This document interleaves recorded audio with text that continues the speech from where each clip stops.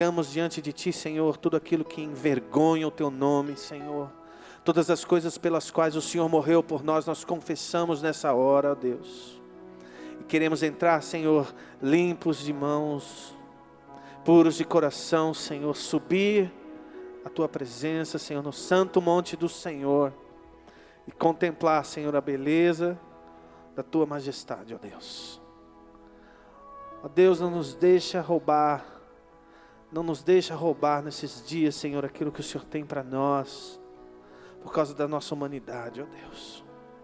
Senhor, nós queremos levantar um clamor por essa nação, Senhor, pela votação que está sendo feita pelo nosso próximo presidente, ó Deus. Senhor, que venha sem um temor de Ti sobre essa nação, sobre esse povo, sobre nós. Deus, que seja instaurado, Senhor, a Tua palavra nessa nação. Que a tua palavra seja trazida, Senhor, com poder e glória nesse tempo, Senhor. Vem, Senhor, com a tua presença nesses dias, ó Deus. Porque nós buscamos a tua face, Senhor. O teu povo nesse local, Senhor. Nós queremos nessa hora exaltar o teu nome. Será que a gente pode aplaudir o nosso Deus nesse local? Será que a gente pode declarar que Ele é santo, que Ele é bem-vindo nesse local?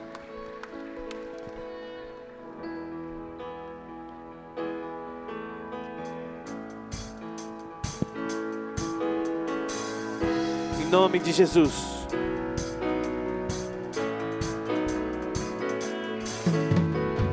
Eu te busco, te procuro, ó Deus. No silêncio tu estás.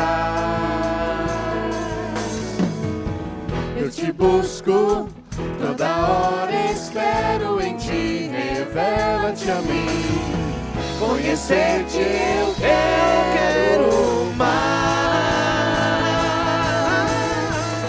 Senhor, te quero, quero ouvir tua voz.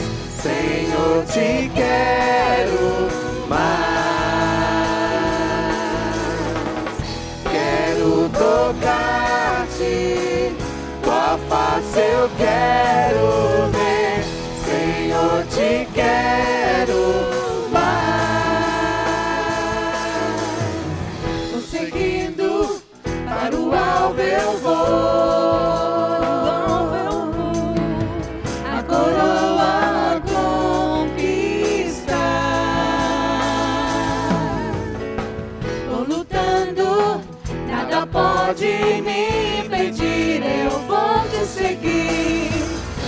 Conhecer-te eu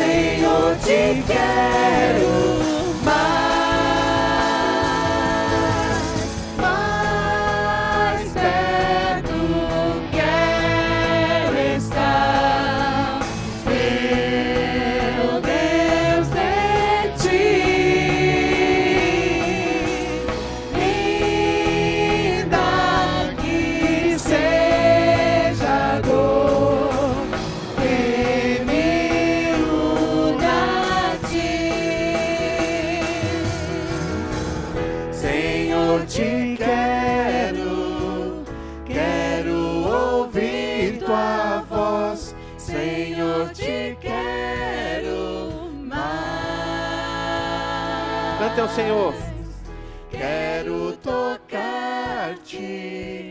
tua face eu quero ver. Senhor,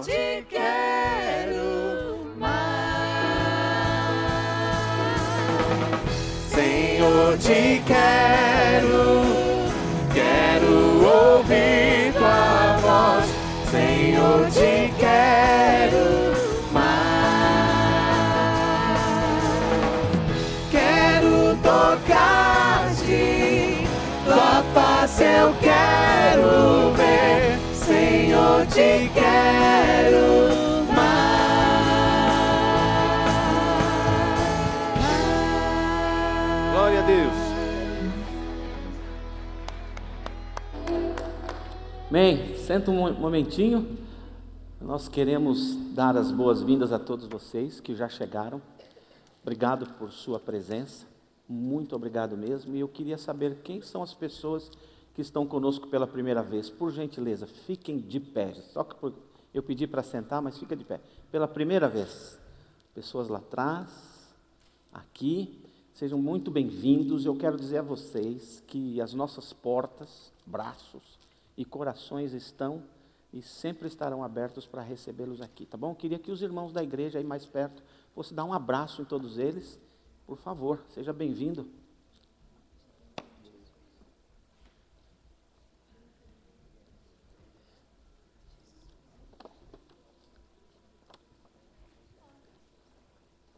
E agora seria bom se nós nos cumprimentássemos também, não aproveitar. Amém? Dá um abraço em alguém que você ainda não deu um abraço, um abraço mais apertado, mais demorado. E você vê alguém que está sentado murchinho, é esse que está precisando de abraço, hein?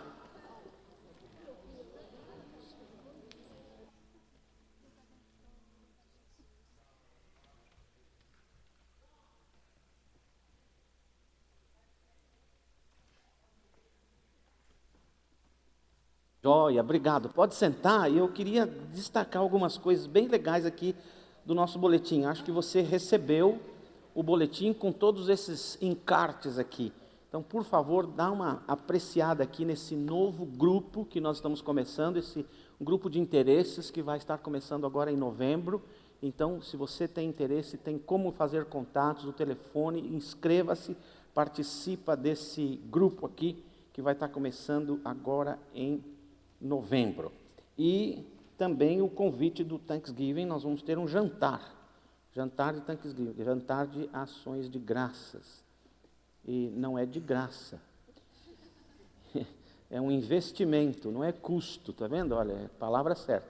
Você vai investir em relacionamentos, investir na sua vida e investir em pessoas que você pode pagar por elas e trazê-las para esse jantar de Thanksgiving. E evidentemente nós teremos uma palavra bem gostosa da parte de Deus. E os destaques do seu boletim. Presta bem atenção no que tem lá. E tem uma orelha no boletim, se você é nosso visitante e desejar preencher e devolver para a gente no final, nós estaremos orando por você, intercedendo e mantendo alguma comunicação. Eu prometo para você que ninguém vai na sua casa sem que você peça, tá bom? Você só escreve isso aqui para a gente e nós vamos estar mantendo um tempo de oração por você bem específico. E por favor, leia o boletim, faz o boletim valer a pena e leve-o para casa. Tem informações importantes, tem os desafios de oração da semana, é algo para ter na sua Bíblia e você conviver com esse boletim ao longo de toda a semana. Tá bom? Amém, gente? Amém mesmo? A Rosa esteve viajando essa semana e está voando para cá hoje, chegando amanhã cedo ah, de volta aqui à nossa cidade, se Deus quiser. Deus a usou com poder entre os pastores na ministração e ela também teve o privilégio de estar com a sua família. Vamos ficar de pé de novo e seguir louvando, adorando, bendizendo o nome do nosso Salvador Jesus. E a razão de fazermos isso, porque Ele é exaltado. Eu gosto tanto desse cântico.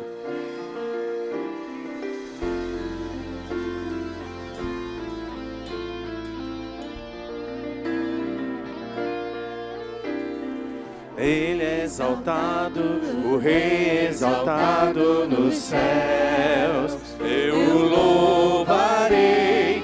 Ele exaltado para sempre, exaltado seu nome.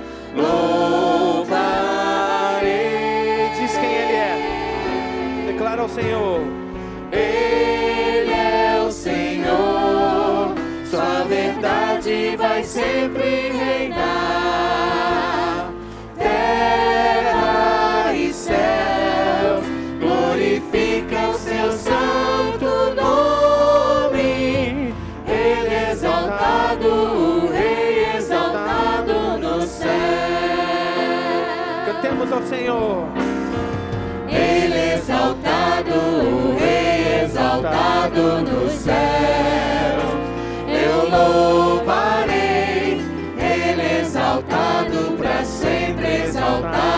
seu nome.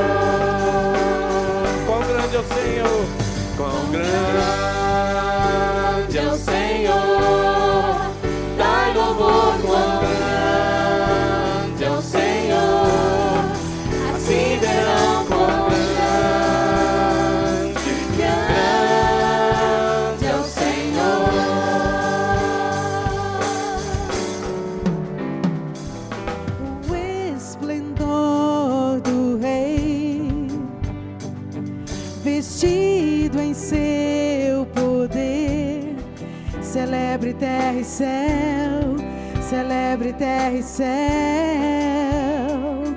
envolve-se em luz, que as trevas fogem ao som de Sua voz, ao som de Sua voz.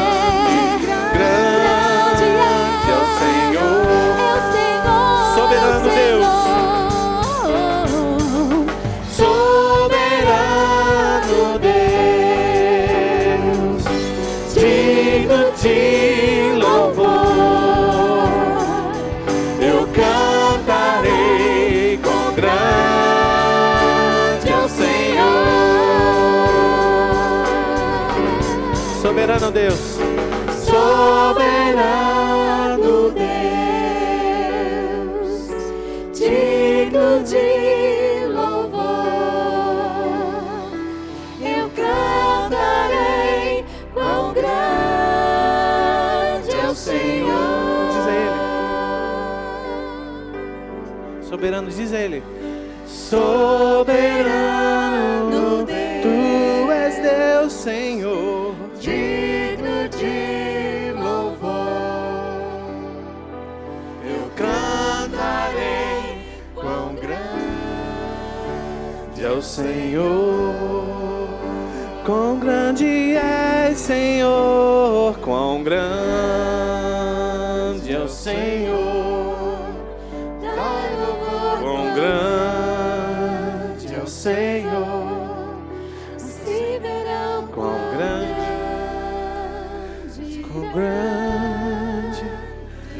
sing.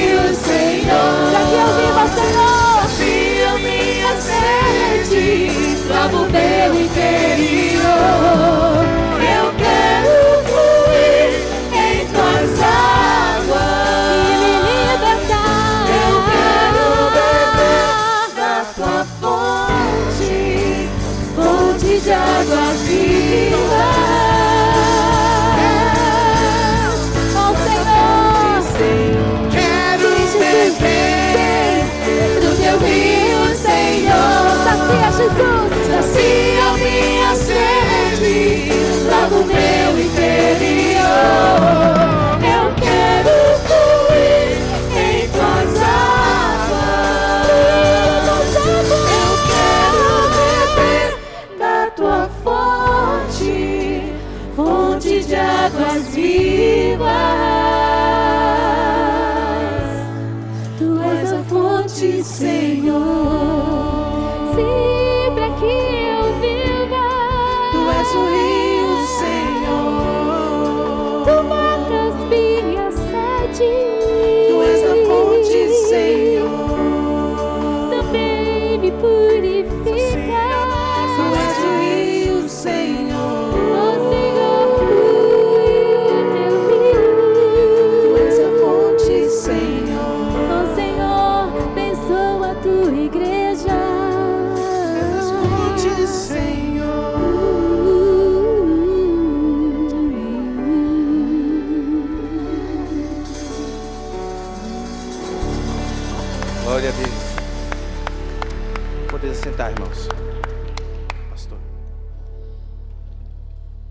Quando eu canto isso, tu és a fonte, Jesus é a fonte dessa água viva que passa, que limpa, que purifica, que pode tocar minha vida e Ele está aqui.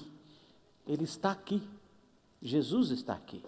Sabe por que, que Ele está aqui? Porque Ele gosta desse prédio, Ele acha que os americanos fizeram um prédio bem bonito aqui para a nossa igreja. Não, não, Ele está aqui porque eu sou bonito. Não, não é por isso. Ele está aqui por sua causa. Ele prometeu quando duas ou três, só duas ou três pessoas estivessem reunidas em um lugar, qualquer lugar do mundo, em nome dele, ele se faria presente. E aqui nós estamos em nome dele, para a glória dele, para a honra, para louvor, para adorar o nome dele. Por isso eu creio que ele está. É verdade, ninguém, nenhum de nós, começando comigo, merece a presença dele. Por isso é graça. Ele fez isso porque ele nos ama do jeito que somos. Ele nos ama. E ele nos ama por aquilo que nós vamos vir a ser um dia quando a obra deles terminar na nossa vida. Mas ele está aqui agora. E talvez você que veio aqui tem alguma coisa que está ruim dentro de você. Alguma coisa que você precisa ser mudada dentro de você, precisa ser transformada, precisa, quem sabe, ser arrancada. Talvez uma dor, talvez uma dor física, talvez uma dor emocional, talvez um relacionamento difícil, talvez uma luta pela qual você está passando agora, talvez um embate nessa semana, um enfrentamento difícil que se aproxima, se acerca da sua vida nessa semana. Talvez uma algo que você perdeu e que dói. Seja lá qual for a sua necessidade, esse rio de águas vivas está aqui e eu gostaria de orar por você agora. Se você é uma destas pessoas, sem nenhuma vergonha, nós não queremos expor, expor você, simplesmente num gesto de fé, fica de pé no seu lugar. Nós vamos estar todos com os olhos fechados e nós vamos estar orando por você.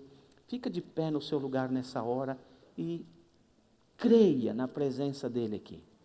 Espírito Santo de Deus, nós te louvamos, nós te adoramos, nós te bendizemos, nós cremos que tu és um rio de águas que purificam, que curam, que limpam. E nós clamamos agora, toca nessas vidas com as águas da purificação, com as águas da limpeza, com as águas da cura, seja qual for a necessidade, visita agora essa vida, em nome de Jesus, Espírito Santo de Deus, sopra um sopro de poder, de milagre, intervém agora em favor dessa vida, ou destas vidas, desta pessoa, desta casa, desta família, em nome de Jesus, realiza o teu milagre, toca realiza milagres em nome de Jesus. E se qualquer dor, ou luta, ou provação, ou dificuldade, ou tempestade, ou tormenta sobre esta vida vem de origem satânica, nós declaramos agora a derrota do inferno e a vitória de Jesus Cristo sobre cada uma destas vidas, e casa, e família, e causa. Dá a tua bênção sobre todos agora. É a nossa oração crendo no nome poderoso, no nome nome bonito, no nome forte de Jesus Cristo. Amém e amém. Amém, aleluia, amém. Pode sentar, Deus te abençoe. Louvado seja o nome dele. Botaram uma cadeira aqui para mim, não sei qual é a, o que significa aquela cadeira ali para mim. Eu ainda estou aprendendo todas as coisas aqui na igreja. Cadeira para mim é para sentar, né? Então não sei se botaram uma cadeira para eu sentar por causa da câmera. Obrigado, servo fiel no pouco, te porém no muito também. Ah, acho que é para sentar. Mas eu não vou pregar sentado porque eu não aguento. Só quem gostava de pregar sentado e aguentava era Jesus Cristo e Rick Warren. Né? Se você olhar para a Bíblia, no Novo Testamento, todas as vezes, de maneira infalível, quando o Senhor Jesus ia ensinar, ele se assentava. Sempre. O sinal de Jesus para dizer, vou começar a pregar, ele se sentava o pessoal falava, Jesus desapareceu, cadê? Ele sentou. Aí todo mundo sentava e ficava em silêncio, porque ele ia ensinar. Jesus ensinava sentado na maioria das vezes. E o Rick Warren também, ele prega sentado, mas eu não aguento. Eu tenho formiga no pé, no pé, por isso eu preciso ficar de pé daqui a pouco. Mas botaram aqui, gostei. Se eu cansar, eu volto para cá. Nós estamos na nossa igreja conversando sobre barcos. Por quê? Bem, o ano que vem o tema principal, a focalização prioritária dessa igreja é, será, servir pessoas de maneira apaixonada.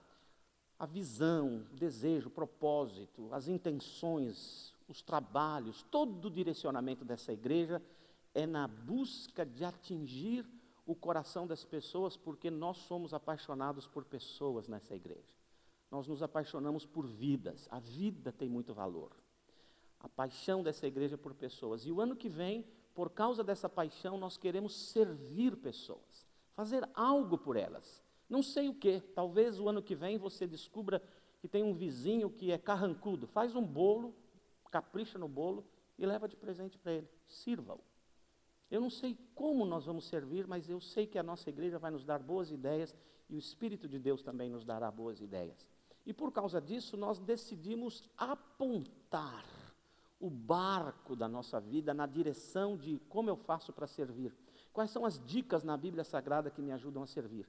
E por isso nós estamos estudando sobre os barcos da Bíblia. Nós já estudamos sobre o barco do Jonas, muito interessante o barco do Jonas, e estudamos sobre o barco de Jesus no Mar da Galiléia. Ficamos quatro domingos nesse barco, viagem demoradíssima. Também o barco era remo, custou um monte para chegar do outro lado. Aprendemos muitas coisas importantes. Eu desejo servir apaixonadamente pessoas, eu preciso sair do lado de cá, sair do bem bom da minha vida, do meu conforto, me desprender do conforto de minha vida para ir do outro lado. E porque eu quero servir pessoas apaixonadamente, eu tenho que estar pronto para o enfrentamento de tempestades. As tempestades virão. Não importa a origem das tempestades, sempre importará como você se comportará diante das tempestades. Aquela era uma tempestade maligna, jogada por demônios, porque a mesma palavra que Jesus usa para repreender os ventos, ele usa para repreender os demônios que estavam naquele homem de Gadara.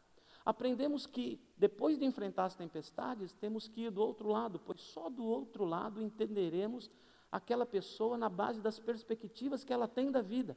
Se nós não viajamos do lado da pessoa que sofre, nós continuaremos julgando sintomas em vez de analisar a causa do sofrimento.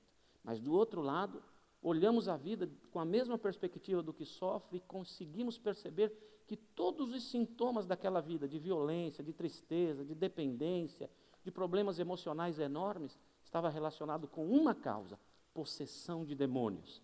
Mas o Filho do Deus Altíssimo pode repreender demônios. O demônio sai, os demônios saíram, ele foi liberto, foi curado, recebeu curas importantes.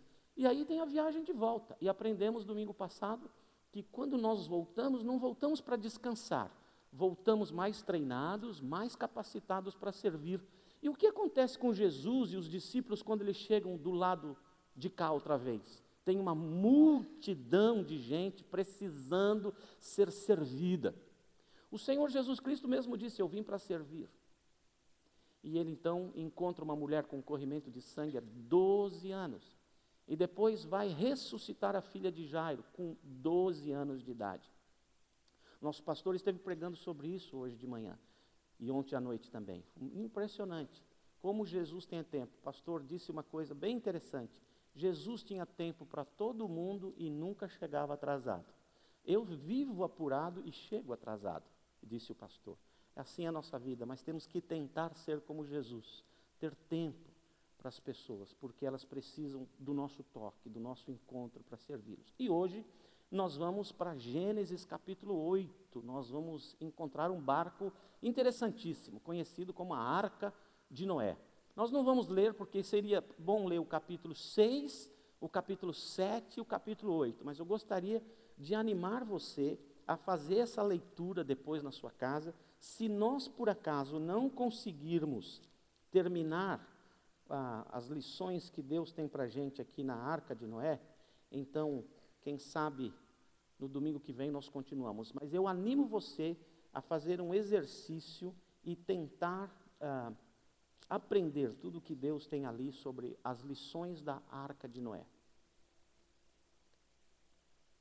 No começo desse século, um dos maiores navios do mundo foi inaugurado, com uma viagem da Europa para cá, o chamado Titanic, que eu aprendi em inglês é Titanic, é assim que fala, Titanic. É, aprendi que é assim. Outro dia uma menina lá da nossa igreja foi perguntada como é que fala campainha em inglês. Ela disse Jim John. Mas é Titanic, então para mim é Titanic. E o Titanic, um dos maiores navios do mundo para aquela época, e grande, luxuosíssimo, era um palácio em alto mar. E ele encontra com um iceberg na área mais gelada do Atlântico e arrebenta. Um jornal nova-iorquino descreveu mais ou menos assim o acidente do Titanic. Um, um violento estrondo se escuta de repente. As pessoas começam a sair das suas cabines e dos salões de festas apavoradas, correndo de um lado para o outro. E elas corriam apavoradas e gritando, não sabendo o que era. E eram assustadas com gigantescos pedaços de gelo que despencavam por cima deles naquele grande salão de festas. E quando eles chegaram para fora do navio, para, na proa, na polpa do navio, eles viram que a frente do navio estava completamente destroçada. Era uma mistura de ferro torcido, madeira quebrada, fogo, estrondos e água invadindo o navio. E eles, desesperados, começaram a cair nas águas e morrerem congelados. Foi uma tragédia. Um jornal nova-iorquino escreveu assim: Nenhuma dessas palavras foi verdade, nenhuma. Nenhuma, porque quando o socorro chegou, o, a pessoa encarregada de fazer comunicação com a terra se negou a responder qualquer pergunta de qualquer jornalista sobre o acidente. Ele gastou todo o seu tempo mandando comunicações a respeito dos que estavam vivos, a fim de que os parentes pudessem saber quem estava vivo. Toda a descrição dos jornais de Nova York era uma invenção dos jornalistas, porque eles não tinham nenhuma informação. O que aconteceu, na verdade, foi que o navio navegando tranquilamente, vai bater na lateral em um iceberg muito grande, que, é com aproximadamente 30 metros de altura acima da água. O homem das máquinas, que está lá na sala de máquinas, recebe informação meteorológica daquele tempo, havia a. Não é radar, como é que chama aquele negócio que bate assim? Telégrafo, obrigado. E ele recebe uma informação de que muitos icebergs estão na rota desse navio e que ele tinha que prestar atenção. Mas ele julgou que aquilo não era importante, tal a força, o tamanho daquele navio. Ele não imaginou que pudessem haver icebergs tão grandes. E ele não se incomodou. Ele disse: daqui a pouco eu mando isso para cima, para o capitão mudar a rota do navio. Ele estava preocupado com outras coisas e de repente o navio bate lateralmente num desses icebergs. O capitão, quando sabe disso, para o navio. E quando o navio estaciona, o pessoal nem percebe, porque o navio não fazia nenhum balanço. Quem já foi a um cruzeiro aqui pelo Caribe, eu fui duas ou três vezes de noite olhar na janelinha para saber se o barco estava andando ou não, porque não faz nenhum ruído, não balança nada. Aí eu via, por causa do luar, a água passando. Falei, nossa, não balança. Eu tinha levado um monte de remédio para enjoo. Falei, estou curado. Né? Não era, era o navio que era bom. E eu imagino que mais ou menos isso estava acontecendo. E era um navio enorme. E ele não afundaria, porque eles fizeram um navio na parte de baixo, em gigantescos compartimentos que podiam ser fechados com uma manivela, com uma roda, de maneira que se um compartimento ficasse cheio d'água, eles isolariam aquilo e o navio não afundaria. Então, quando o navio para, as pessoas nem ligam para a situação. Finalmente, depois de 20 ou 30 minutos, o capitão dá uma ordem para que todos os passageiros venham para fora, saiam das suas cabines, dos salões de festas, abandonem as suas jantas, os seus shows e venham para fora. E todo mundo foi tranquilamente, ninguém se apavorou. Duas ou três pessoas só que sentiram um leve tremor e foram lá para ver. Uma delas disse que ela percebeu, passando pela janela dela, mais de 20 metros de uma montanha de gelo. Mas não se incomodou também. Ninguém se incomodou. Eles ficaram quase uma hora e meia lá em cima. Só, e eles pensavam assim: deve ser um treinamento. Daqui a pouco nós vamos voltar para as nossas atividades. O céu era estrelado, uma noite tranquila, um mar calmo. Todos eles calmos. De repente o capitão manda soltar um foguete, que era um sinal de emergência. Quando eles olham para o sinal, eles falam: será? E aí vem a ordem: todo mundo nos botes. Somente setecentas e poucas pessoas conseguiram entrar em botes. Por quê? Não havia botes salva-vidas para a maioria. Por quê? Porque os engenheiros do Titanic disseram: esse navio é inquebrável, impossível de ser afundado. Bote salva-vida é decoração, então põe poucos. E puseram poucos. Quando eles desceram para os botes e se afastaram do navio, eles pensaram: daqui duas horas nós vamos estar de volta. Ainda estavam pensando que era um treinamento. Ninguém estava apavorado.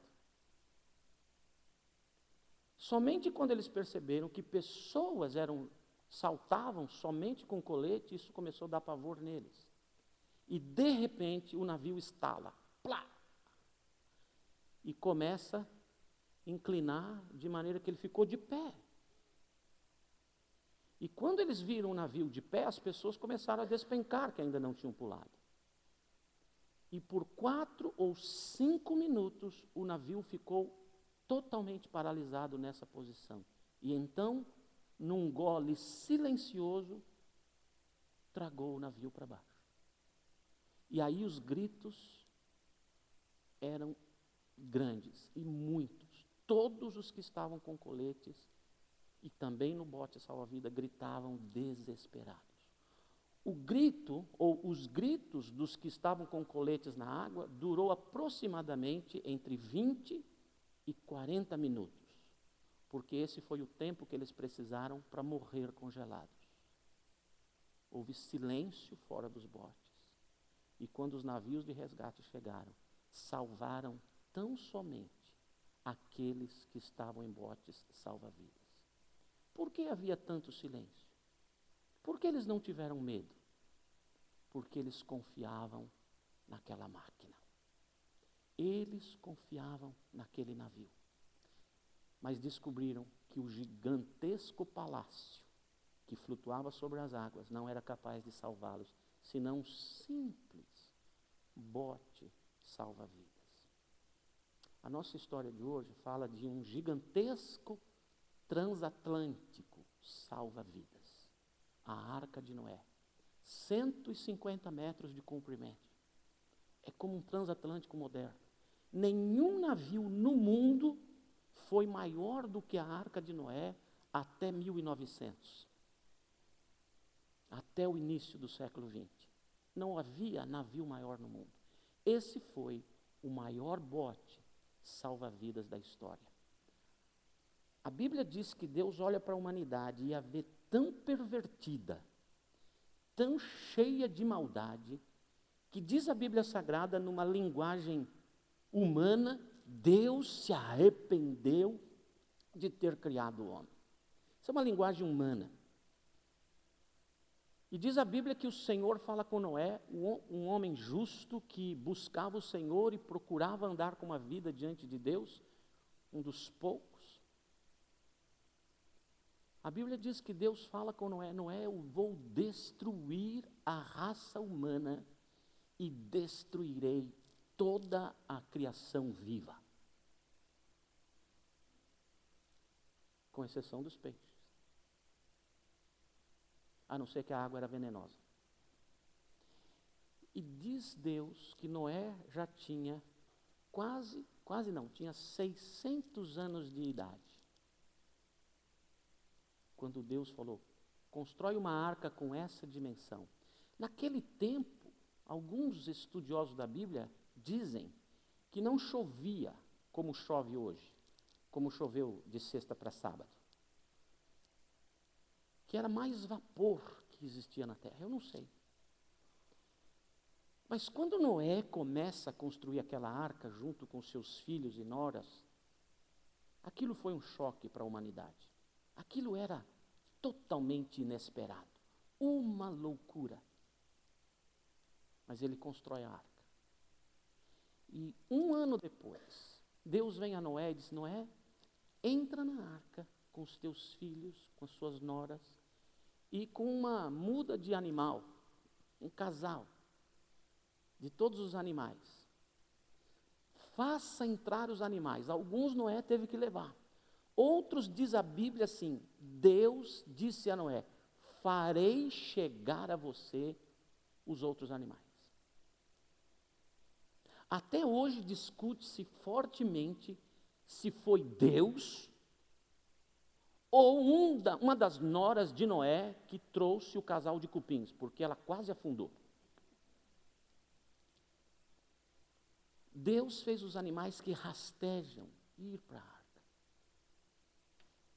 Eles entraram na arca e diz a Bíblia: Deus fechou a porta por fora e choveu 40 dias. E por 150 dias as águas cobriram a terra até sete metros mais alto do que o mais alto pico existente. Houve morte absoluta para todos, seres humanos e animais que não eram peixes. 150 dias depois, Noé solta uma pomba, solta um urubu. O urubu não volta. Ele diz: Por que será o urubu não voltou? Tem muita carniça lá fora. Provavelmente ele tenha pensado isso. Solta uma pomba, a pomba volta. Não tem onde pousar. Sete dias mais, ele solta outra pomba. Ela voa, traz um ramo de oliveira nova. O verde estava brotando de novo. Sete dias mais, ele abre a portinha, a janelinha, e vê que a arca está estacionada e as águas estão baixando completamente. Ele desce e dá um reinício à raça humana. Deus usar a arca para salvar e preservar. Olhando essa história, eu queria tirar nove lições da arca. Talvez consigamos tirar três ou quatro hoje à noite, porque cinco para as oito vai entrar um irmão aqui. Assim, Sabe o que é isso? Daqui cinco minutos fecha a tua boca que acabou o tempo. Então, mas vamos lá. Primeira grande lição da arca que eu aprendo aqui é essa: não perca o barco.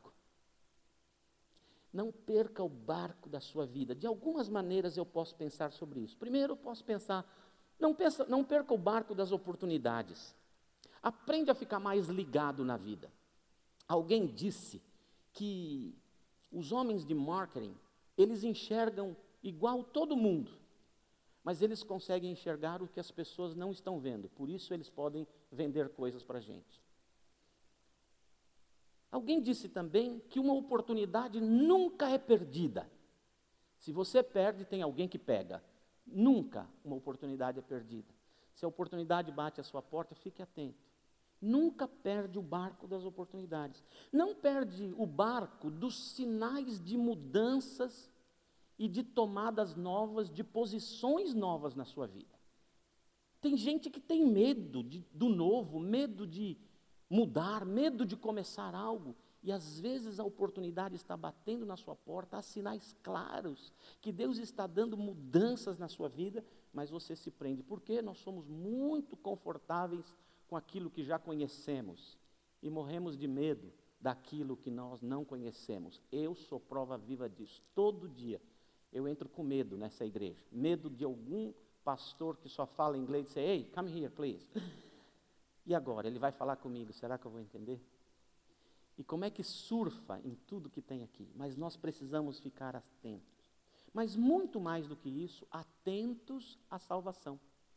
No livro de Hebreus diz assim: Você não pode endurecer o seu coração quando Jesus bate a porta. A Bíblia diz a respeito de Jesus: Eis que estou à porta e bato, da igreja e da sua vida. Se alguém ouvir a minha voz e abrir a porta, entrarei em sua casa. Tem gente que endurece o coração, sabe que Deus está chamando, sabe que Deus quer entrar no coração, sabe que é o Senhor Jesus, sabe que é a voz dele, sabe que Deus quer a vida dele, mas se segura, não se entrega. E a Bíblia diz: horrenda coisa é endurecer o coração nessa hora. A arca, mais tarde eu vou falar sobre isso, ela é uma espécie de figura de Jesus Jesus é a nossa arca de salvação no mundo perdido que será destruído, mas ele nos levará para o céu, para a vida eterna, para o porto seguro da eternidade. Não perde o barco, não perde o barco da salvação.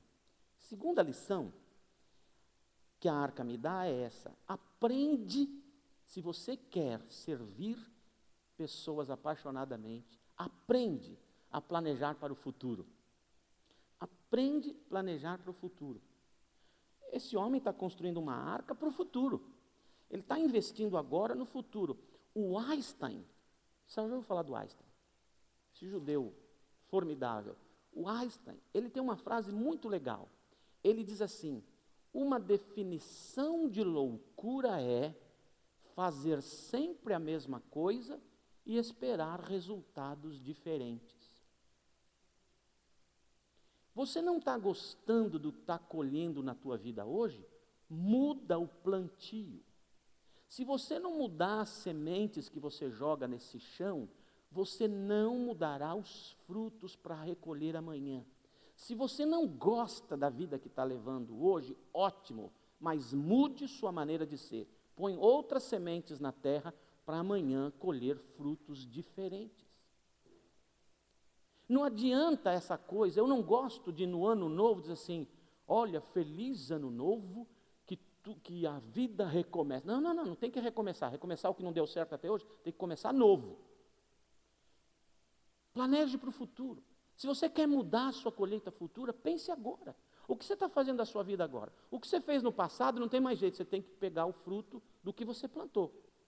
Dá glória a Deus e come esse mesmo, ainda que seja amargo. Mas você pode mudar a colheita futura se você mudar o plantio no presente. Você sabe qual é o segredo da felicidade? Eu acho que podem ter vários, mas eu gosto deste. O segredo da felicidade é olhar para o meu passado e curar o que pode ser curado. Porque quando eu curo o meu passado, os sintomas da cura eu experimento no presente. Porque muitas coisas que eu estou sofrendo hoje têm a ver com coisas erradas que eu fiz no meu passado. Mas quando o meu passado é curado, a sensação de cura é no presente.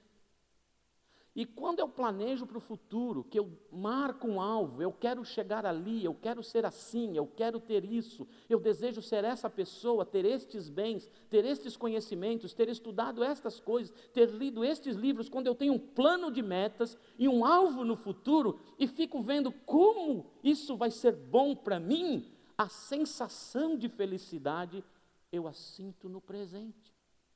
Quem é feliz quem curou o passado, pois a sensação de cura é agora.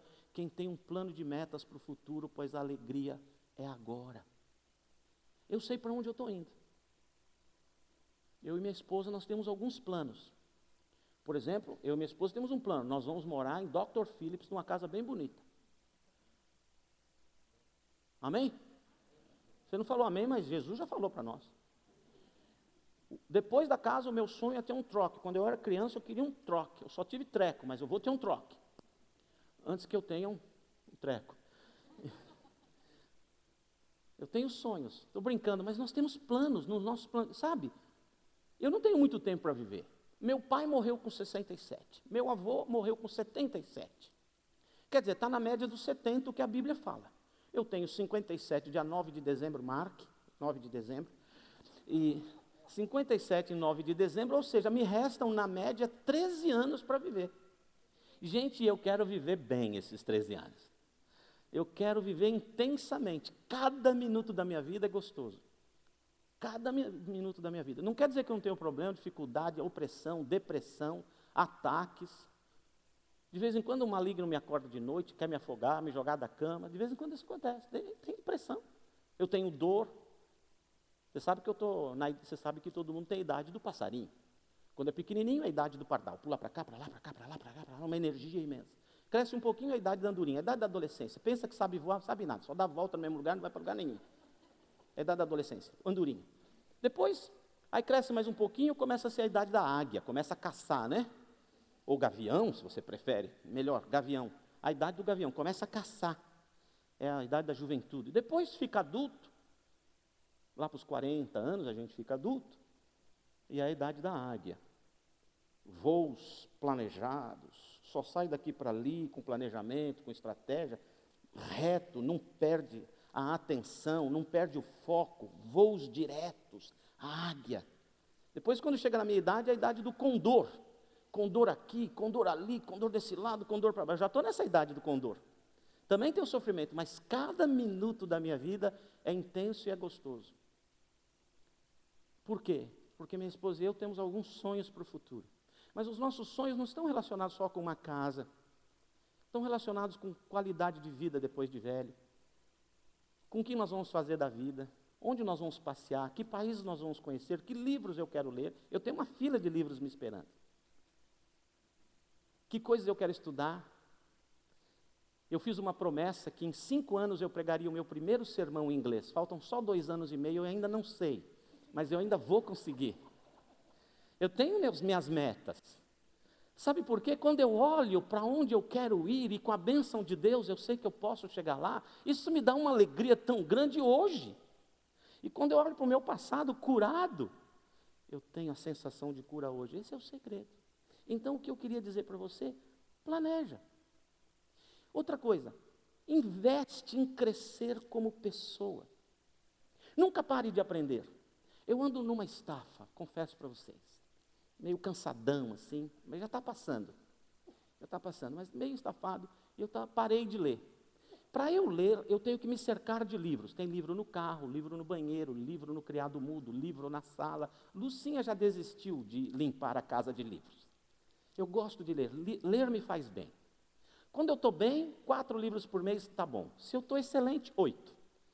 Mas você sabe qual é a média do americano depois que ele termina o college?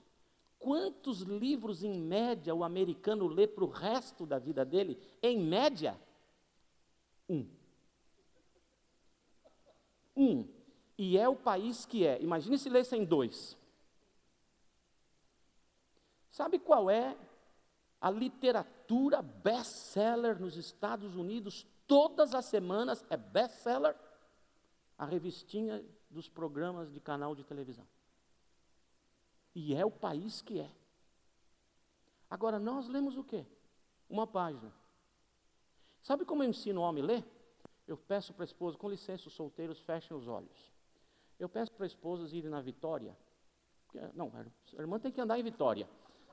Peço para ela ir na Vitória, compra uma roupa daquela, um vidrão de óleo de amêndoa, e quando seu marido sair do banho com aquela camiseta de propaganda política, que é o pijama dele,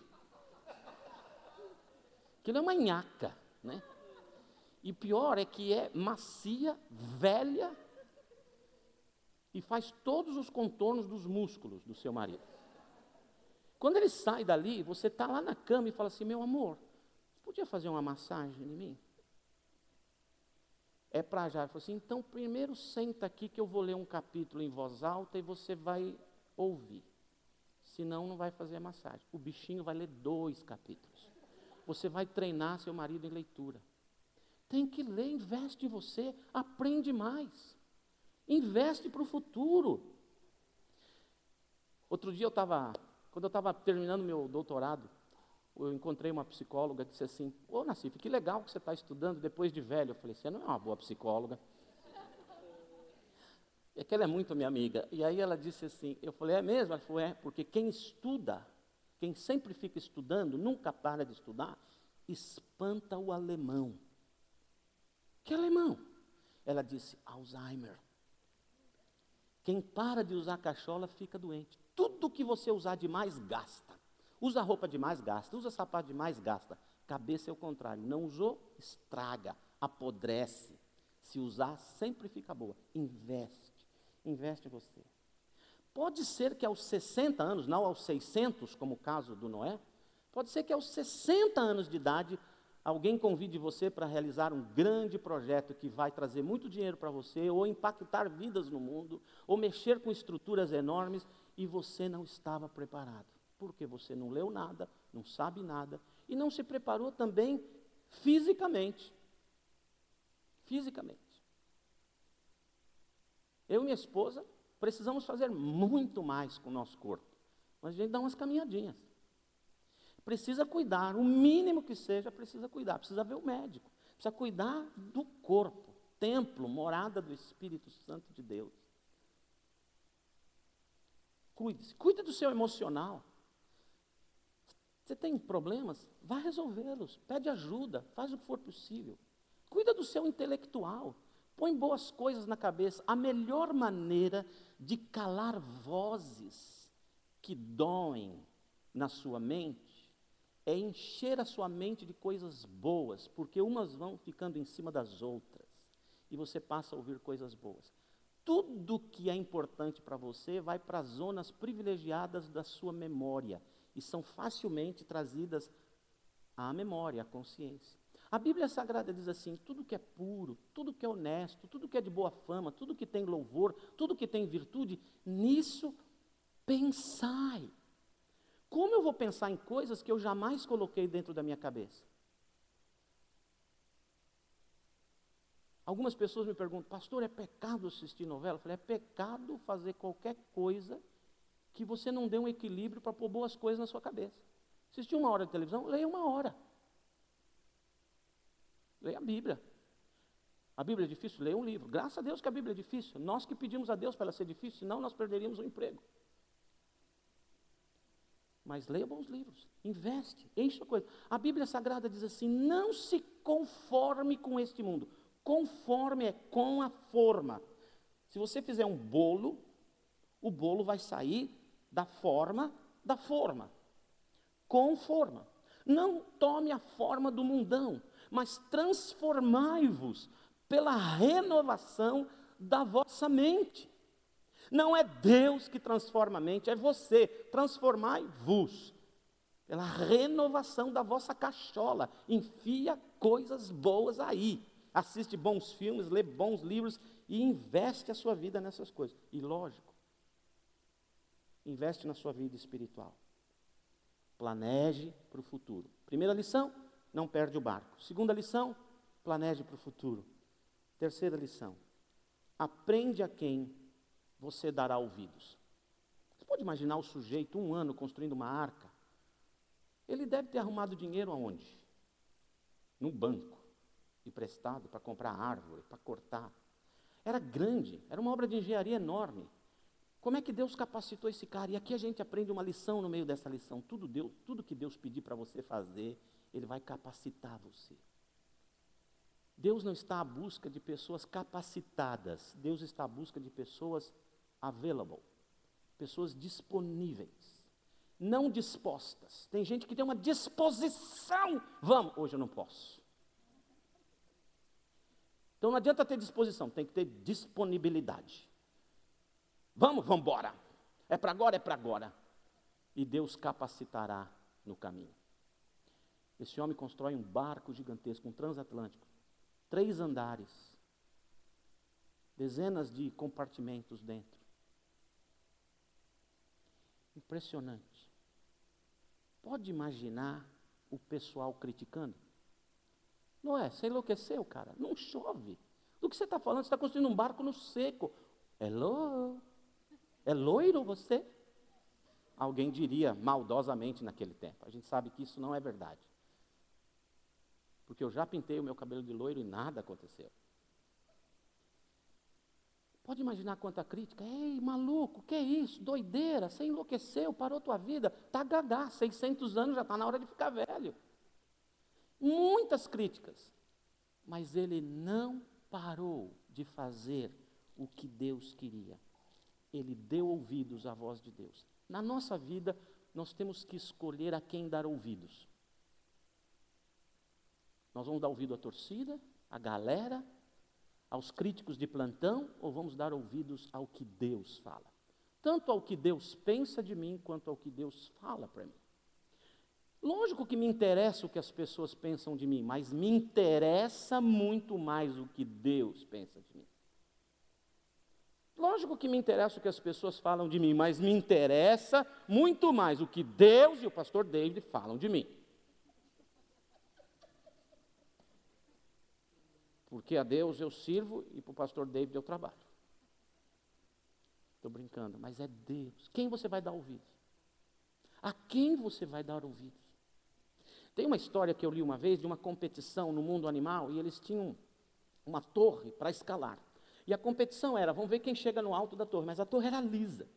E todo mundo foi, começou a escalar, escorregava, caía, escorregava, caía. Alguns chegavam assim, um terço da altura, escorregavam e caíam. E tinha uma galera torcendo.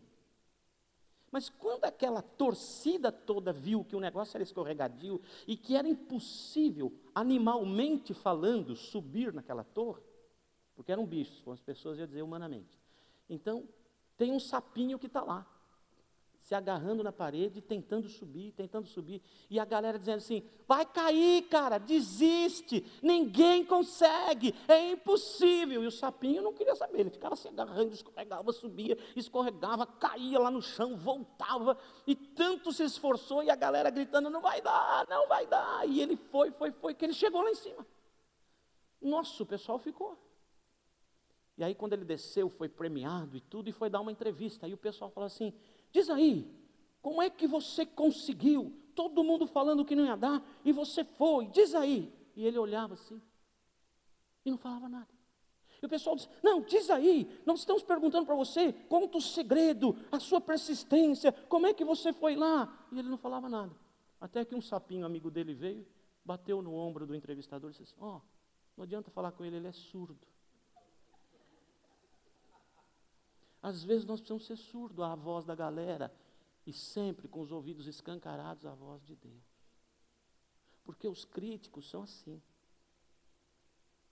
O Joel Austin, conhece esse pastor? Joel, Joel Austin, Joel, Joel Austin, Austin. Eu gosto de ouvir os sermões dele, porque eu, a dicção dele me é familiar, às vezes eu consigo entender o que ele fala. Assim, quando eu ouço um sermão dele a primeira vez, eu entendo 5%. Depois de oito vezes, 20%. Mas eu fico treinando. Eu lembro que ele contou uma vez que o irmão dele tem uma cachorra grande. Não sei qual é a raça. E a cachorra só dorme, não faz mais nada. E come, lógico. E também. Mas quero dizer, mais nada. E é interessante que, quando eles vão para a casa do irmão dele, as crianças ficam pulando em cima do cachorro, ele nem liga. Tem tudo que é barulho, a cachorra deitada no chão, perto da, do, do tapete dela lá, com a cara esbugalhada no chão, babando, e não sai dali, fica sempre assim. Aquele ruído, aquele barulho na casa, e ela fica. Mas tem um tipo de queijo, só um tipo de queijo que a cachorra adora. Então eles vão na geladeira, lá na cozinha, que é bem longe de onde ela fica, abrem a porta da geladeira, a câmera, abrem a porta da geladeira e vão lá e faz assim no saquinho plástico. A cachorra vem na hora, tchum, e espera para comer o queijo. Aí eles dão o queijo para a cachorra. Quando a cachorra está lá, eles vão na geladeira e abrem outro tipo de queijo, outro tipo de queijo, do mesmo jeito. A cachorra está lá.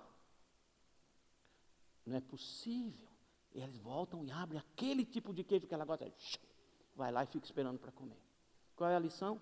Aquela cachorra só dá ouvido ao que lhe interessa. E às vezes nós temos que ser um pouquinho mais cachorro, um pouquinho mais inteligentes e dar ouvidos a só o que interessa. Eu li que um sujeito estava no teco-teco. Sabe o que é teco-teco? Avião pequenininho. É, avioneta, em espanhol. Então, ele pegou a avioneta dele, o teco-teco, levantou o voo e estava pilotando. E, de repente, era um avião desses fraquinhos, miudinhos, quase de papelão, né? Eu já andei num desses na selva amazônica. Pensei que eu ia morrer. E, e aquele negócio balança, é muito interessante. E ele estava lá pilotando, aí ele ouve um barulho dentro do, do avião e ele olha no banco de trás. Tinha uns três ou quatro ratos enormes, roendo a fuselagem do avião. Ele olhou aquilo e falou: Meu Deus, esses ratos vão fazer eu cair. Se romper a fuselagem, vai descompensar, vai ter problema, eu sei lá como funciona. E ele lá, na, sentado no manche, ele segurando o manche, pensando no que fazer, e lembrou. Falei, já sei. Ele botou a máscara de oxigênio, inclinou o manche, o aviãozinho bicou e ele subiu, subiu, subiu, subiu. E ele chegou num lugar que não tinha mais oxigênio. E quando ele estava lá em cima, ele olhou para trás, os ratos morreram. Moral da história. Tem crítico de plantão querendo roer a tua vida? Voe mais alto. Voe mais alto, voe mais alto, voe mais alto. Porque quanto mais alto você voar, mais rápido os ratos morrerão. Você não precisa fazer nada, só se aproxime de Deus. O resto é com Ele. O resto é com Ele. A quem você vai dar ouvidos? Importa obedecer a Deus e não dar ouvidos para os críticos. Eu escrevi numa das minhas Bíblias, não sei se nessa, numa das minhas Bíblias eu escrevi: se eu agrado a Deus, importa a quem eu desagrado? Se eu desagrado a Deus, importa a quem eu agrado? A arca foi construída por amadores debaixo de orientação de Deus. O Titanic por profissionais e afundou. Presta bem atenção a quem você dará ouvidos. Amém? Amém. Quarta lição, temos. Quarta lição é curtinha.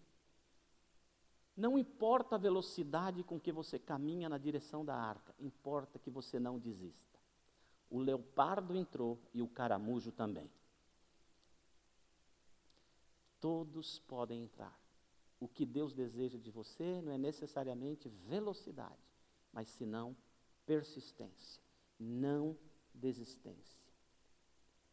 A arca espera por todos que têm motivações honestas. Primeira de Pedro diz assim: Deus não é tardio em mandar de volta o Senhor Jesus Cristo a esse mundo. Porque algumas pessoas na igreja estavam falando para Pedro, o apóstolo: É, Deus falou que ia voltar, cadê? Está demorando. E Pedro responde: Deus não é tardio em voltar. Antes, ele espera que todos se salvem, que todos sejam resgatados. Deus não se preocupa com a sua pressa, Deus se preocupa com as motivações honestas do seu coração. Portanto, cuidado com as distrações no caminho. O diabo tentará tirar o foco de caminhar com o Senhor, de estar seguro na arca que é Jesus, de servir a esse Deus maravilhoso e estarmos prontos para a vida eterna. O diabo tentará tirar o foco. A Bíblia Sagrada diz que ele anda ao redor, rugindo como um leão, buscando a quem possa tragar. Ele tentará fazer de tudo para tirar o foco. Amém? Quinta lição, pequenininha também. Vou correr. Senão a gente não sai da arca esse, esse domingo. Se você estiver muito estressado, não faça nada, apenas flutue. Essa lição tem na arca. Pode imaginar o que é a confusão dentro da arca? Alguém deu comida para o elefante? Não sei, não era meu turno. Ah, não, mas porque aqueles ratos estão querendo comer. Se eles não comerem comida, já sabem que eles vão comer. E o cupim, dá comida para ele. E o passarinho, e não sei o quê, e não sei o que lá. Então, eu acho que tinha estresse na arca. Gente, não para de chover lá fora. Quando é que essa chuva vai parar? A tempestade não cessa e a água agora não abaixa. Há momentos de muita tensão na vida da gente. Viver é um eterno resolver de problemas. A gente resolve um e fala: qual é o próximo? Relacionamento é complicado. Tem uma pessoa que disse que relacionamento devia se chamar relacionamento. Relacionamento é difícil. A Bíblia Sagrada diz assim: assim como o ferro, com o ferro se afia, assim um homem a outro homem. Sai faísca dos dois lados, mas os dois ficam bons. Só que rala, dói. Tem momentos que são estressantes na vida da gente. Mas há momentos que nós precisamos deixar tudo nas mãos de Deus. Tudo nas mãos de Deus. Senhor, não há nada que eu possa fazer. Tinha uma mosca batendo numa janela um dia desses. E ela tentou, viu, sair pelo, pelo vidro. E ela via o jardim lá fora e voava com tudo, catapuft, e batia. Ficava meia tonta, recuperava as forças e voava e puff, metia a cabeça de novo. Até que na última batida ela caiu. Caiu no parapeito da janela. E embaixo tinha uma aberturinha assim. Ela, tchup. Às vezes nós precisamos parar de bater cabeça e só descansar. Maxwell, John Maxwell, disse o seguinte: se você está num buraco financeiro, num buraco de relacionamento, num buraco, para de se mexer, que senão se afunda mais. Descansa. Tem um ditado chinês um ditado mineirês, vamos começar com mineirês. Tem um ditado mineirês que diz assim: se um problema não tem solução, solucionado está. Sabedoria mineira, de Valadares, daquela região, oriunda daqueles pagos importantes para a nação. O ditado chinês é esse: se um problema tem solução, para que se preocupar? Se um problema não tem solução, para que se preocupar? Não é muito fácil de praticar, mas há momentos na nossa vida em que precisamos parar de tentar controlar o timão. Porque ninguém consegue entender o Corinthians. Não, não é esse timão. É o timão do navio. Às vezes nós queremos resolver na força, no braço. Eu entendo, eu sei como, eu me viro, eu arranco dessa situação. E há momentos na vida em que a gente tem que largar e erguer os braços. Uma vez o povo de Deus estava brigando no deserto e o Moisés ficava assim. Enquanto ele tinha os braços erguidos louvando a Deus, o exército judeu ganhava a batalha. Aí os braços do Moisés iam caindo, canseira, eles começavam a perder a batalha. Se esforçava, eles começavam a ganhar a batalha. Até que os diáconos de plantão perceberam e foram alguns de cada lado e seguraram os braços do Moisés para cima e eles ganharam a batalha. Sabe? Há momentos que a gente só tem que louvar. O Josafá estava na casa dele e chegou o Dene de Armas, administrador do palácio, e disse assim: Josafá, tem vários inimigos lá fora. Exércitos muito bem armados, eles cercaram a cidade. O nosso exército teve corte no investimento e eles estão sem armas, sem uniforme, sem salário. Aliás, a palavra salário antigamente era soldo, sem grana, estão desmotivados. E o inimigo está lá fora. O Josafá fala assim: não, pesquisa aí, vê uma maneira de a gente vencer.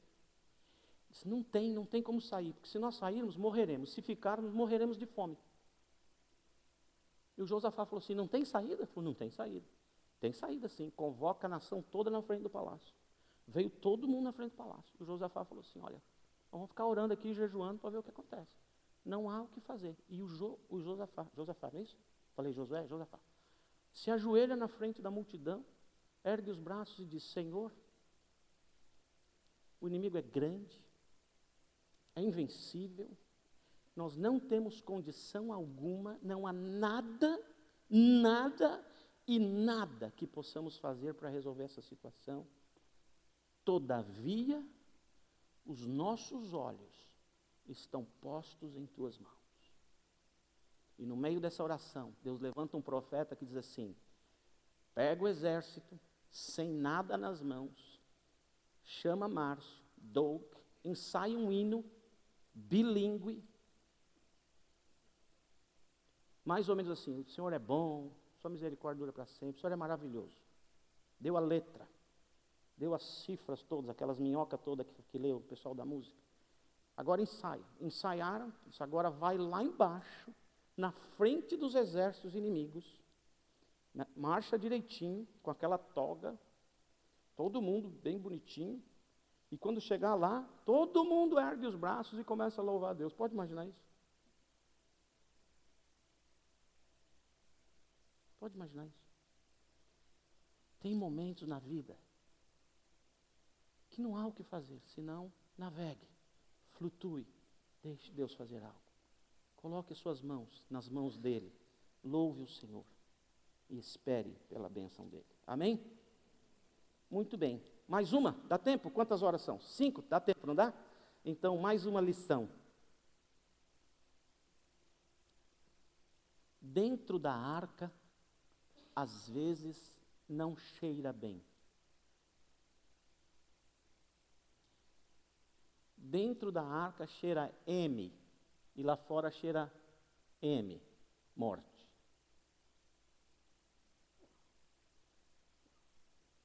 Nós tivemos um cachorrinho na nossa casa, eu não sei se é assim que fala o nome da raça, Pincher, é assim que fala, desse tamanhinho. E uma das maiores bênçãos de ter um cachorrinho pequenininho é que a sujeirinha dele é pequenininha. Sujeirinha pequenininha. Meia folha, meio papelzinho do papel higiênico, daquele que já vem picotado, não sei para que, que aquilo é picotado, mas porque nunca rasga no picote. Então, é, meia folha daquela resolve o assunto e ainda dá para limpar. É muito bom ter um cachorrinho pequenininho, porque a sujeirinha é pequenininha. Mas você pode imaginar que na arca tinha girafa? Tinha elefantes? Você já viu sujeirinha de elefante? É meio metro de altura. Tira da onde ele fez e bota onde, cidadão?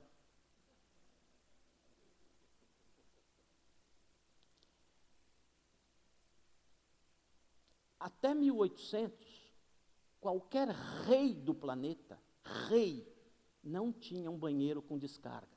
Não existia. Naquele tempo também não tinha. Junta e bota onde? Será que tem um compartimento devidamente preparado para armazenar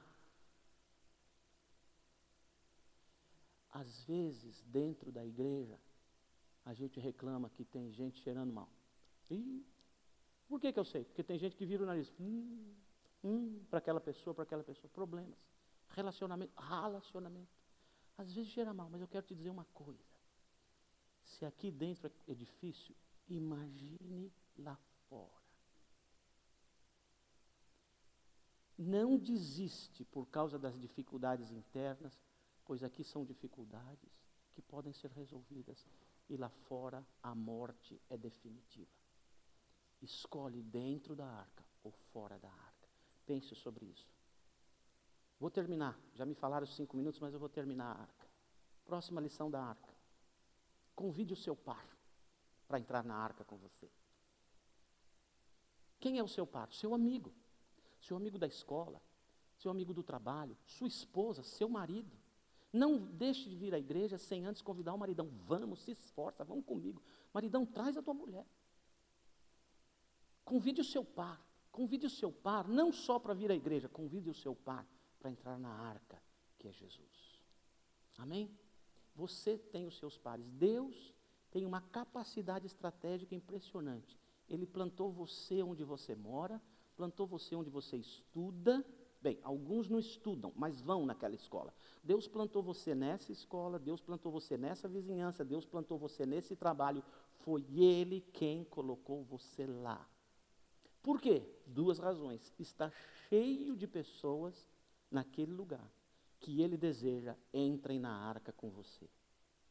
Segundo, você é, presta atenção nisso, você é a melhor opção de Deus em todo o universo para essas pessoas que vivem em volta de você. Se você falhar, a melhor opção de Deus falhou em convidar pessoas para entrar na arca. Você é o que, de Deus, o que Deus tem de melhor no universo para todas essas pessoas que vivem onde você mora, que vivem na escola que você vai, que vivem no seu trabalho, que vivem no lugar do seu lazer. Estas pessoas que você vê com frequência, todas elas, Deus deseja que você as convide para entrar na arca. Não deixa de fazer isso.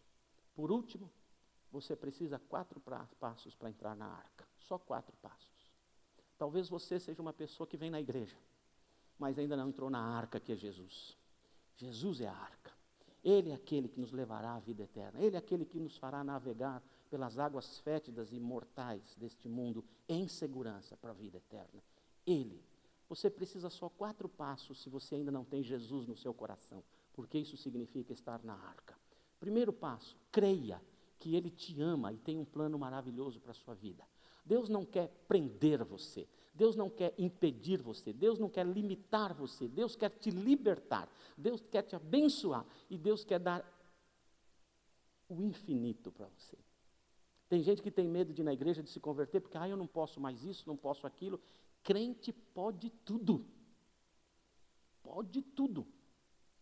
Outro dia, meu amigo estava falando com uma pessoa lá, falou, ah, crente não pode nada. Aí ele falou, lógico que crente pode tudo. Aí ele falou assim, crente pode fumar? Eu falei, lógico que pode. Quanto quiser. Ele falou, sério? Eu falei, sério. Você fuma? Ele falou, fumo. Quanto? Quatro maços por dia. Você pode parar? Ah, não é tão fácil. Assim, então, é, quem é que não pode? É você que não pode, é você que é escravo. Eu sou livre. Jesus te ama e tem um plano maravilhoso para a sua vida. Fumar não é pecado, fumar te mata. E, Deus, e outra coisa, é bem, é bem, olha, olha o tamanho do meu nariz. Se Deus tivesse feito a gente para fumar, os buracos do nariz eram para cima. Facilitaria a saída da fumaça. E certamente ele inventaria uma tampa em tempo de chuva. Jesus te ama e tem um plano maravilhoso para a sua vida. Segundo, segundo passo para entrar na arca. Saiba que o amor e o plano dele não te alcançam por causa do seu pecado. O seu pecado faz separação entre você e Deus. Você deveria morrer no dilúvio do mundo. Mas Cristo, em terceiro lugar, e esse é o teu terceiro passo, creia, ele morreu na cruz por causa do seu pecado. Ele abriu os braços na cruz do Calvário. Ele pagou pelos seus pecados. Ele está fazendo você justo. Ele está te justificando, lhe dando o direito de entrar na arca da salvação. Quarto, você precisa, com as suas próprias palavras, dizer: Senhor Jesus, eu entro na arca, eu te recebo como meu Salvador e dono de minha vida. Muito obrigado, porque o Senhor morreu por mim. Muito obrigado, porque o Senhor me aceita do jeito que eu sou. Amém? Vamos todos fechar os olhos.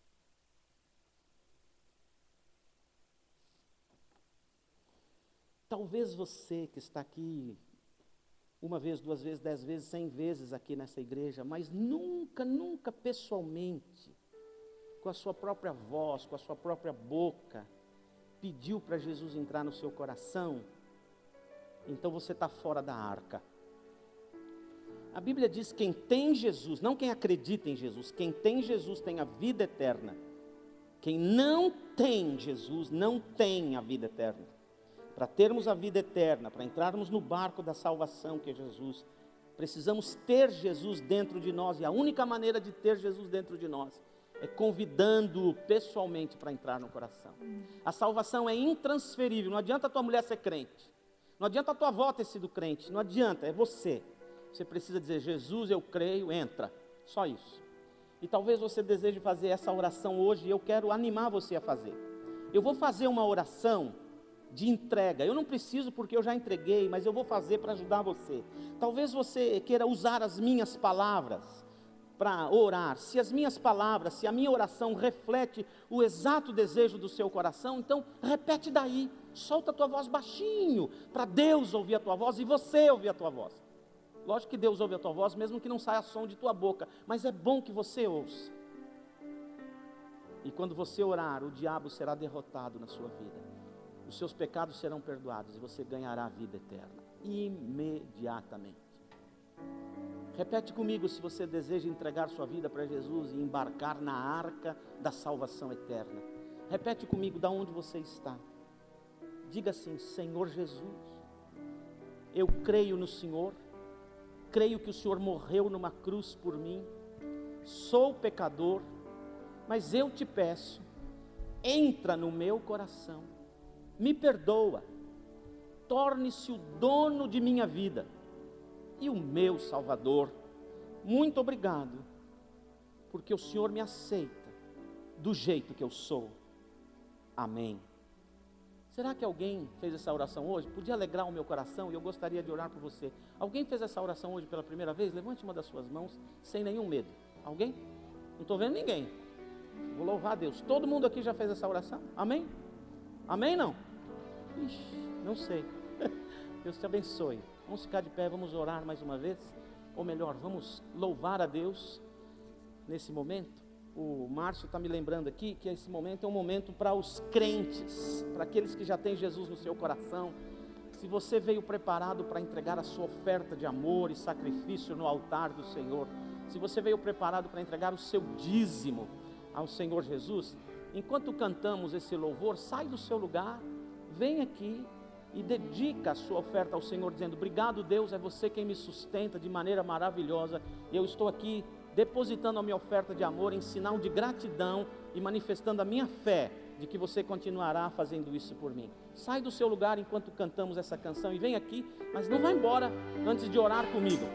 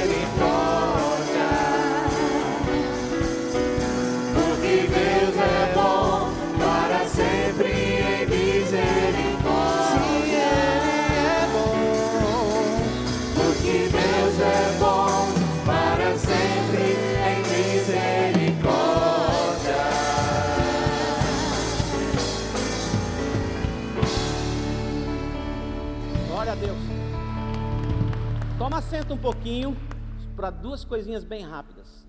Simone tem um aviso importante. Rafa, vem aqui. Paz Senhor, igreja. É, para quem não sabe, a gente está fazendo hoje aconteceu uma festa para as crianças bem legal. A gente fez sobre o Holy para poder ensinar eles sobre o Halloween, o que é certo, o que não é. E eles estão bem felizes, foi bem divertido, eles se divertiram bastante. E eles receberam, cada um deles, um, um pacotinho desse. Isso aqui são- é, é tipo um folheto falando do amor de Cristo, é, evangelizando de uma maneira bem, bem simples e bem fácil da criança entender. E eles vão receber esses pacotinhos para levar para casa. E no dia do Halloween, ao invés de colocar na porta que nós não celebramos Halloween ou não fazemos o tricotri, deixar as pessoas baterem na porta e entregar um folhetinho desse que fala do amor de Cristo. Se você não tem criança pequena, mas quer pegar, eu vou estar aqui com uma caixa, vai tem bastante para todo mundo levar. Cada pacotinho vem 25 folhetos. Então, se 25 crianças baterem na porta, vocês podem dar um docinho e um folhetinho. Dentro vem uma historinha em quadrinhos falando sobre o evangelismo, como aceitar Jesus, que Cristo é o melhor amigo. Então, por favor, incentivem as crianças de no dia 31 dar esses folhetos, levar para a escola, porque eles recebem muitos doces das outras crianças. Os pais fazem pacotes, então você também pode fazer um pacote e mandar para a classe com esses folhetos, tá bom? Eu agradeço muito se eu não sobrasse mais nenhum comigo. Amém. Obrigada. Bem, obrigado.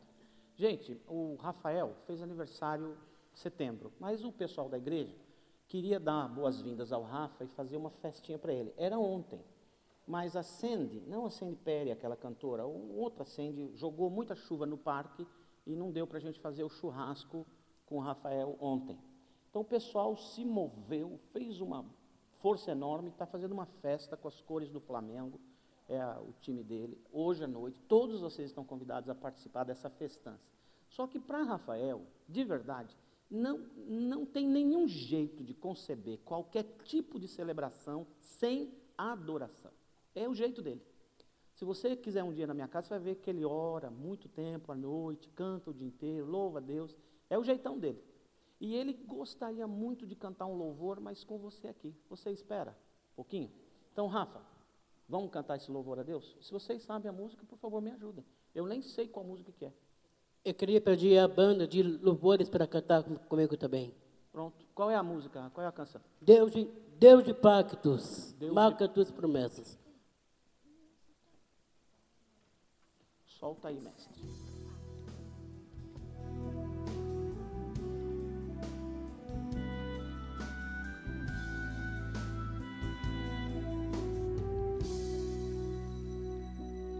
Deus de pactos, que marca as tuas promessas, escondes tua palavra e guias meu destino.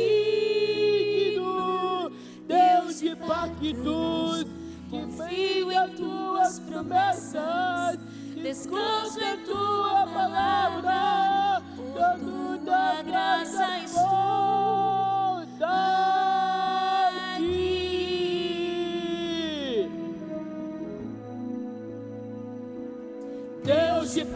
Deus, que marca as tuas promessas, que cumpre a tua palavra, que o teu destino.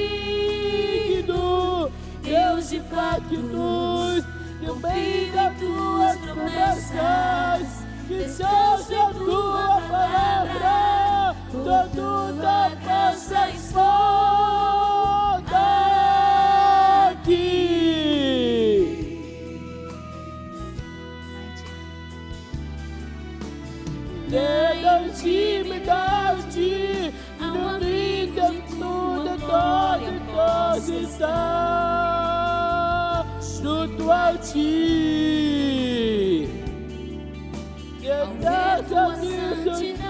Santidade, de toda, toda, toda a ti.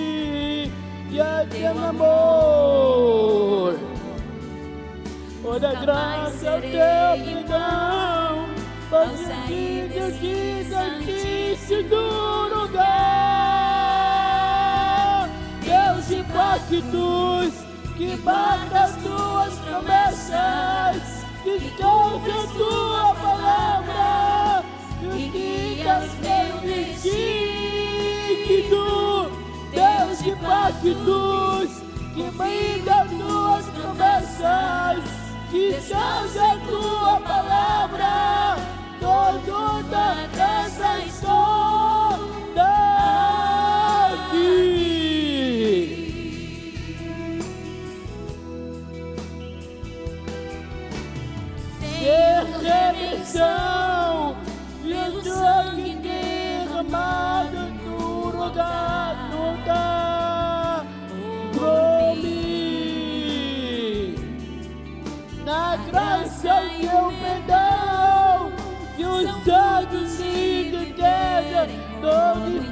manhã e a coração. O caminho inteiro igual, no saber de ti, de Cristo, no lugar. Oh, Deus de pactos, que mata as tuas promessas, que toda a tua palavra, quita teu desígnio, Deus de pactos, confio em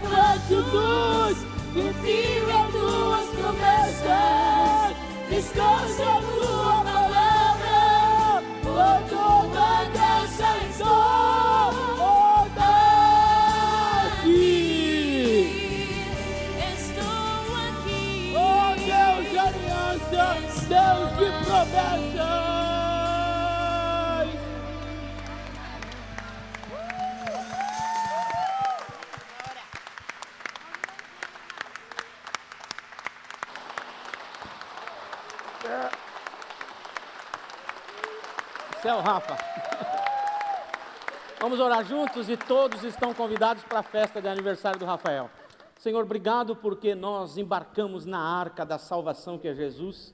E ainda que os mares estejam agitados, que as torrentes de chuva sejam imensas e gigantescas, e ainda que a morte está cheirando lá fora, nós te louvamos porque aqui dentro há um cheiro de salvação, um cheiro de bênção, um cheiro de vida eterna. Louvado seja o Senhor. Dá a todos uma semana gostosa, uma semana rica, uma semana próspera, uma semana de milagres, uma semana de bênçãos. Dá ao marido ser o melhor marido, a esposa a melhor esposa, os pais, os melhores pais, os filhos, os melhores filhos. Abençoa cada pessoa, solteira, casada, famílias, indivíduos aqui. Uma semana gostosa na Sua presença, no nome bendito, no nome forte de Jesus Cristo. Amém e amém. Boa semana, vamos lá para o aniversário de fato e guardas tuas promessas e cumpres tua palavra.